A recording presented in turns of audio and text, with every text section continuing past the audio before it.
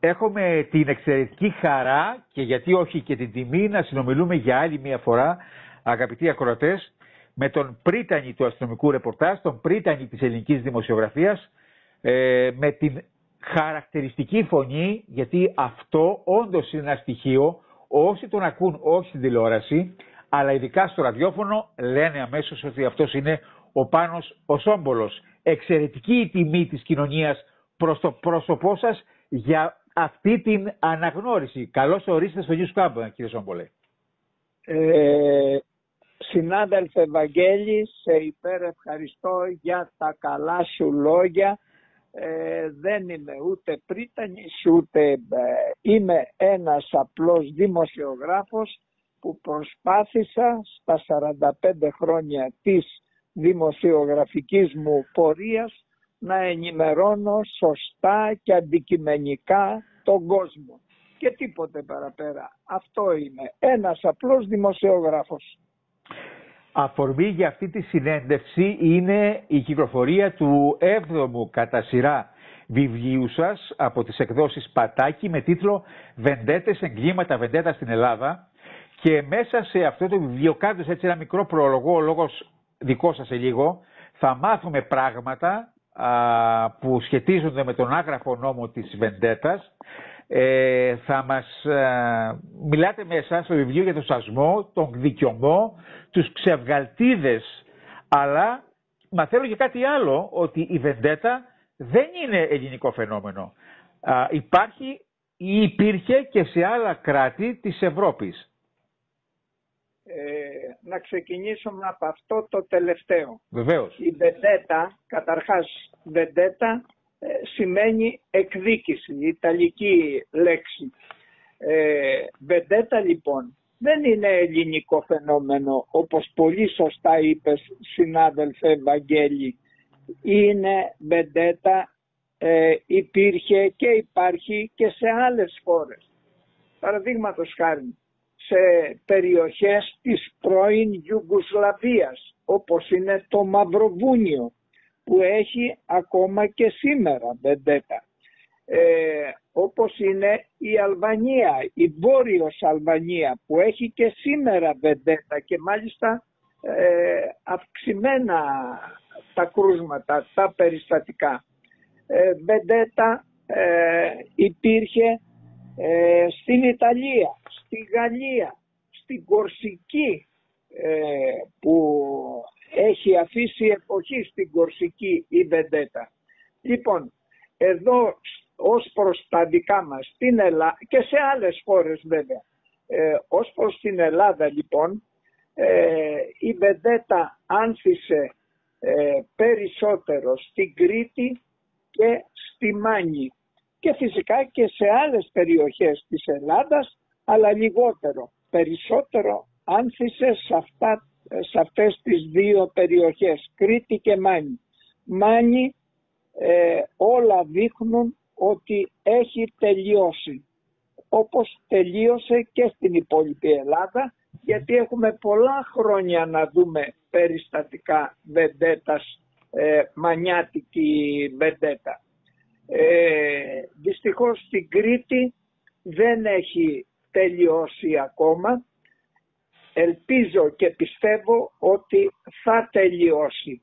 Εκείνο το οποίο θέλω όμως να επισημάνω είναι ότι τα περιστατικά, τα κρούσματα, Βαγγέλη μου, ναι. είναι πολύ μειωμένα σε σχέση με το παρελθόν. Δεν είναι όπως ήταν παλιότερα η Βεντέτα που είχαμε ε, πάρα πολλά ε, περιστατικά, πολλές υποθέσεις που θυμάμαι εγώ πόσες φορές είχα κατέβει στην Κρήτη για ε, να καλύψω θέματα βεντέτας.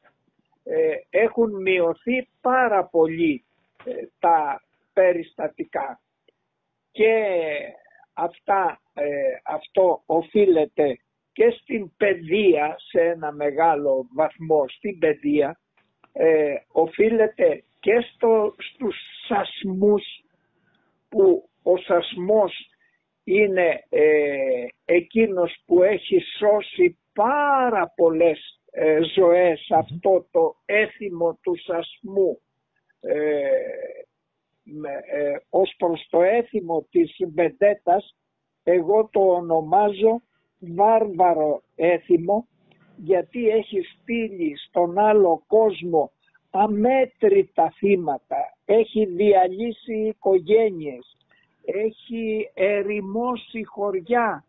Πόσοι έχουν φύγει από χωριά, από την Κρήτη και έχουν πάει στην Αθήνα, στην ε, Θεσσαλονίκη και σε πολλές άλλες περιοχές της Ελλάδας ώστε να σταματήσει αυτό το βάρβαρο έθιμο ε, της βεντέτας. Μιλάμε για ανθρώπους που ενεπλάκησαν σε βεντέτες και αναγκάστηκαν να αυτοεξοριστούν. Αυτό λέτε. Ακριβώς. Ναι, ναι. Αναγκάστηκαν να φύγουν. Το ίδιο συνέβαινε και, από τη Μάνη, και στη Μάνη. Ε, δεν έμεναν στο χωριό τους. Έφευγαν. Ε, θυμάμαι ένα περιστατικό που περιλαμβάνεται στο βιβλίο. Ε, έφυγε από το χωριό του ένας που σκότωσε κάποιον συγχωριανό του έφυγε για να γλιτώσει από την, ε, το γδικιωμό όπως λένε στη μανη και ε, κατάφερε και πήγε στην Αμερική. Εκεί εργάστηκε αρκετά χρόνια, πάνω από 30 χρόνια και κάποια στιγμή λέει ότι θέλω να γυρίσω στο χωριό μου. Πέρασαν τώρα τόσα πολλά χρόνια για ε, από, την, από τότε που έγινε το φωνικό οπότε ξεχάστηκε. Θα έχουν μαλακώσει λίγο τα πράγματα. Και ναι, ναι, ναι. τα πράγματα θα είναι πιο μαλακά ακριβώς. Θα, ε, θα είναι καλά. Ε, να πάω στο χωριό, να δω το σπίτι μου, να δω τους συγχωριανούς, συγγενείς κλπ. Ε, την πρώτη μέρα, το βράδυ που πάτησε το πόδι του στο χωριό του, του είχαν στήσει καρτέρι γιατί το έμαθε η άλλη οικογένεια και τον ε, σκοτώσανε. Φοβερό, συγκλονιστικό. Ε, ναι. Κοίταξε, ήταν παλιά, αυτό είναι παλιό περιστατικό που σου αναφέρω. Ε, αυτά συνέβαιναν, ε, Βαγγέλη μου, συνέβαιναν και ευτυχώς ε, χρόνο με το χρόνο άρχισαν σιγά σιγά να εκλείπουν και να τελειώνει το θέμα της βεντέτας ε, θα πρέπει να σου επισημάνω ότι η βεντέτα είναι από αρχαιοτάτων χρόνων αυτή, η εκδίκηση.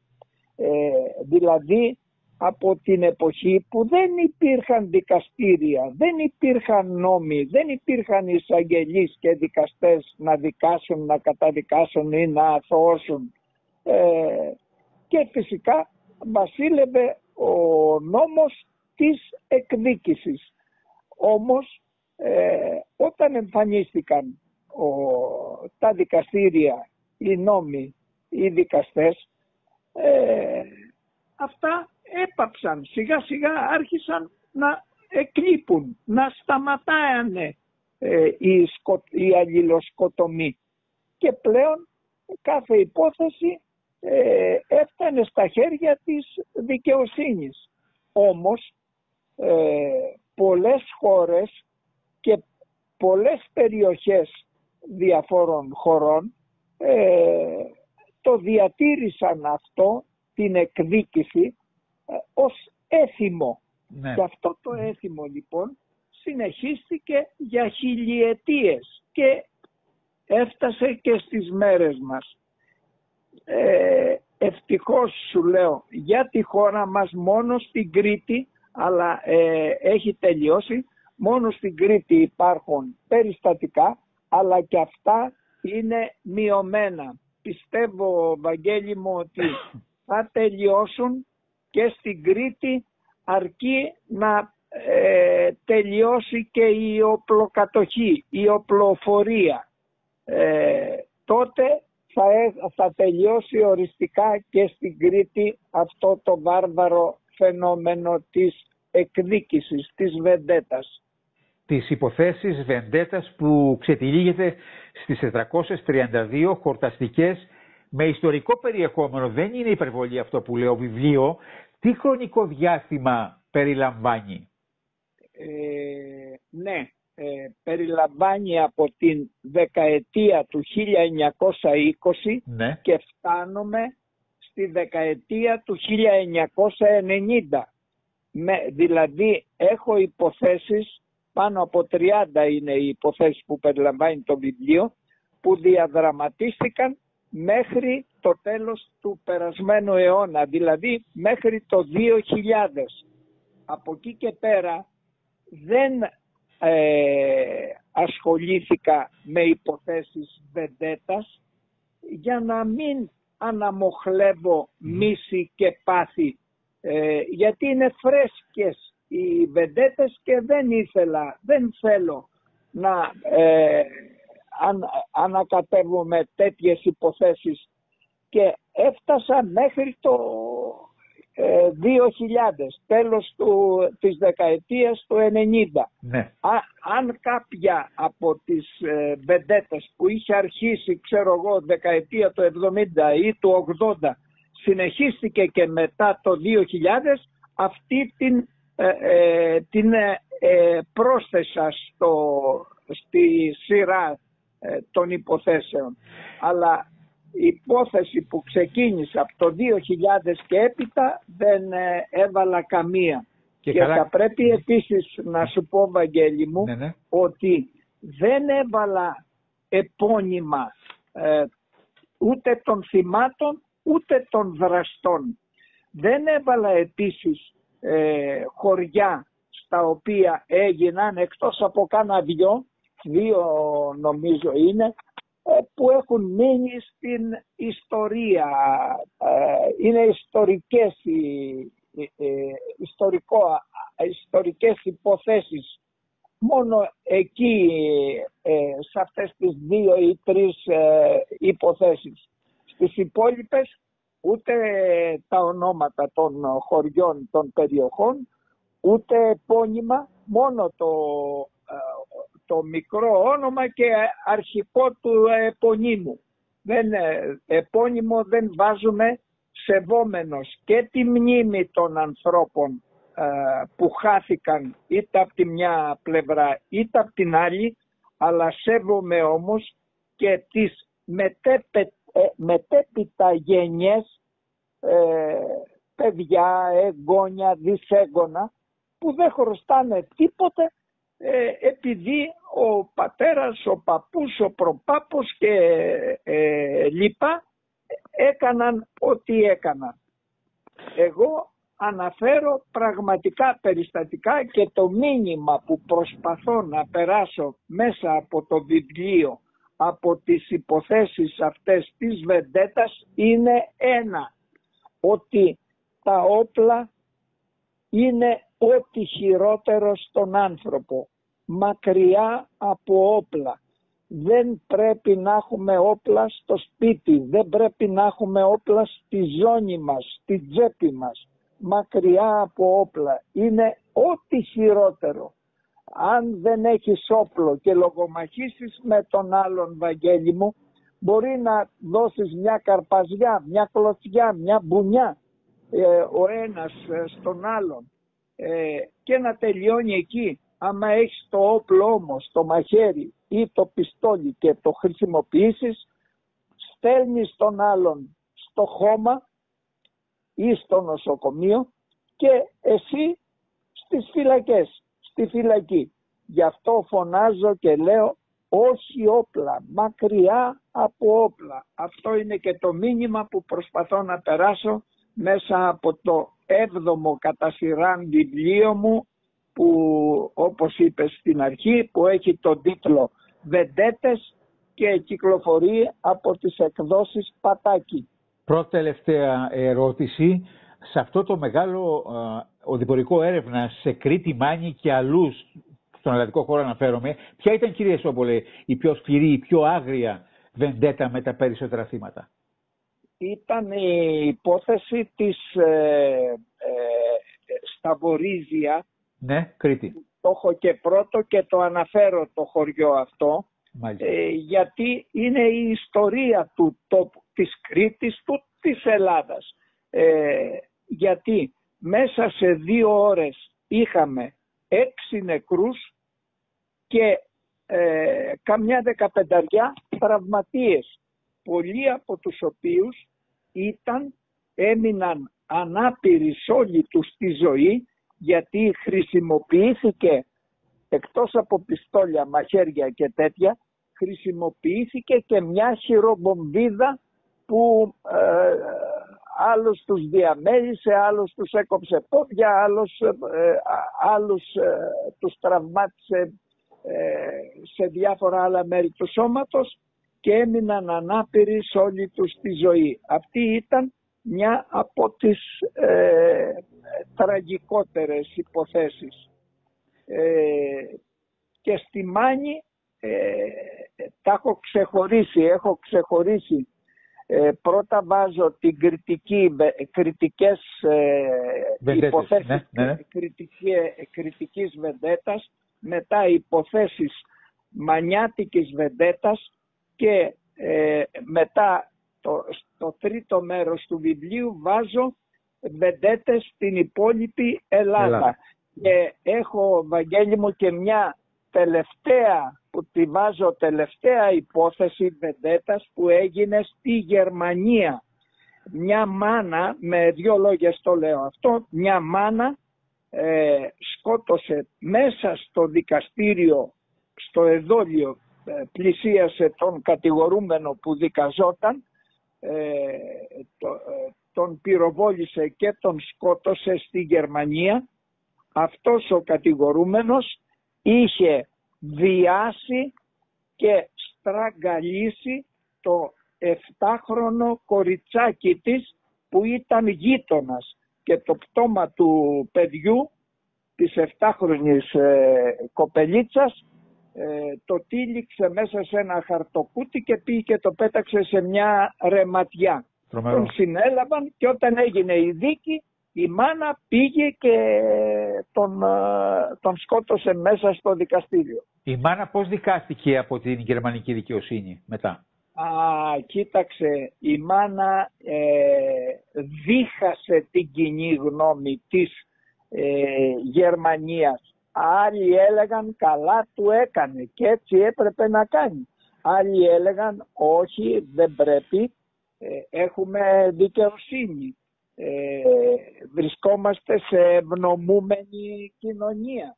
Δηλαδή είχε διχαστεί η κοινή γνώμη στη Γερμανία γιατί αυτή η υπόθεση συγκλώνησε ε, όχι μόνο ότι ε, ασχολήθηκαν τα μέσα ενημέρωσης όχι μόνο στη Γερμανία αλλά και σε ε, πολλές άλλες ευρωπαϊκές χώρες και στην Αμερική και εμείς το γράψαμε εδώ ε, στις δικές μας εφημερίδες και το είπαμε και στα ραδιοτηλεοπτικά ε, ήταν μια υπόθεση που θα μείνει στα ιστορικά χρονικά της Γερμανίας. Να φανταστείς ότι οι δικαστές δεν μπορούσαν να βγάλουν λόγω της κοινή γνώμης, δεν ήθελαν, δίσταζαν να βγάλουν απόφαση και ανέβαλαν την υπόθεση. Την ανέβαλαν για μερικές φορές γιατί ε, δίσταζαν να βγάλουν, ε, να την καταδικάσουν ή να την αθωώσουν.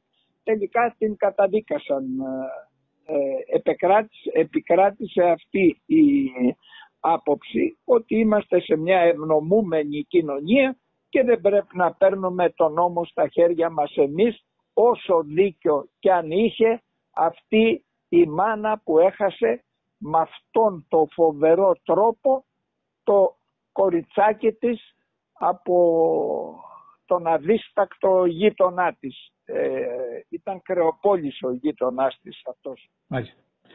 Ε, όλα αυτά τα εξαιρετικά συσσαγωγικά για το περιεχόμενο του βιβλίου, τα συγκλονιστικά γεγονότα, στοιχεία που περιγράφετε στο τελευταίο σας βιβλίο, θα τα πείτε από κοντά εδώ στο Ηράκλειο την 5η 30 Μαΐου στις 7.30 το απόγευμα στο Πολύκεντρο Νεολαίας του Δήμου Ηρακλείου. Εξαιρετική χαρά που θα σας υποδεχτεί το Ηράκλειο. Οι Ηρακλειώτες, οι πολίτες θα σας τιμήσουν με την παρουσία τους εκείνη τη βραδιά θα είναι μια, ένα ξεχωριστό γεγονός. Εγώ ευχαριστώ πάρα πολύ Βαγγέλη και σένα και τους συναδέλφους ε, ε, στο σταθμό αλλά ευχαριστώ και τους ε, ε, φίλους μας στην Κρήτη για την τιμή, γιατί και εγώ με αυτό το βιβλίο όπως και με τα άλλα προσπαθώ ε, να περάσω κάποια θετικά μηνύματα ε, μέσα από τις σελίδες του βιβλίου αυτού όπως και των άλλων βιβλίων. Ένα ε, από τα θετικά μηνύματα είναι αυτό που σου είπα μακριά από όπλα. Ο, το όποιος έχει όπλο το ένα πόδι το έχει μέσα από την πόρτα της φυλακής και το άλλο ε, απ' έξω. Είναι, φο, είναι ό,τι χειρότερο. Έχετε, απόλυτο, έχετε απόλυτο δίκιο γράφοντας εσείς ο ίδιος στο βιβλίο σας προλογικά ότι θέλετε να αφήσετε με αυτό το βιβλίο μια παρακαταθήκη για τις επόμενες γενιές. Να είστε πάντα γερός και δυνατός να μας χαρίζετε και άλλα βιβλία τα οποία σίγουρα το επόμενο θα το προετοιμάζετε.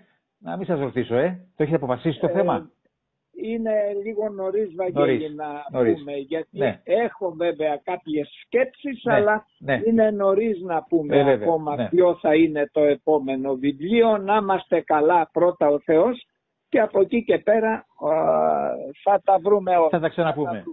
Ευχαριστώ θερμότατα κύριε Σόμπολη. Να είστε καλά.